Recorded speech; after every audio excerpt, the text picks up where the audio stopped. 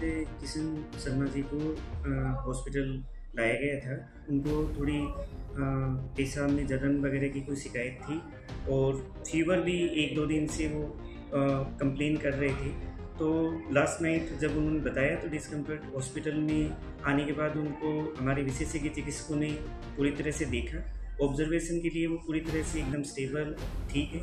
और ऑब्जर्वेशन के लिए उनको मेडिकल आईसीयू में भर्ती किया गया। चिकित्सकों का बोर्ड बना के उनका ट्रीटमेंट किया जा रहा है। आ, सारी इन्वेस्टिगेशन अभी अवेटेड हैं सारी जांचें हो रही हैं और सारी जो अभी वो वाइटली पूरी तरह स्टेबल हैं एकदम स्वस्थ। ऐसा कोई नहीं है।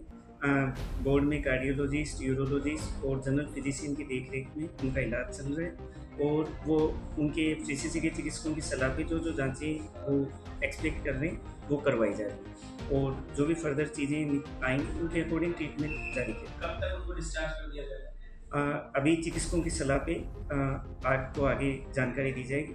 अभी उनको ऑब्जर्वेशन में रखा गया और पूरी तरह वो वाइटली स्टेबल है आराम से कंफर्टेबली जांचें वेटेड जो हैं उनको देख के आगे का ट्रीटमेंट प्लान किया जाएगा।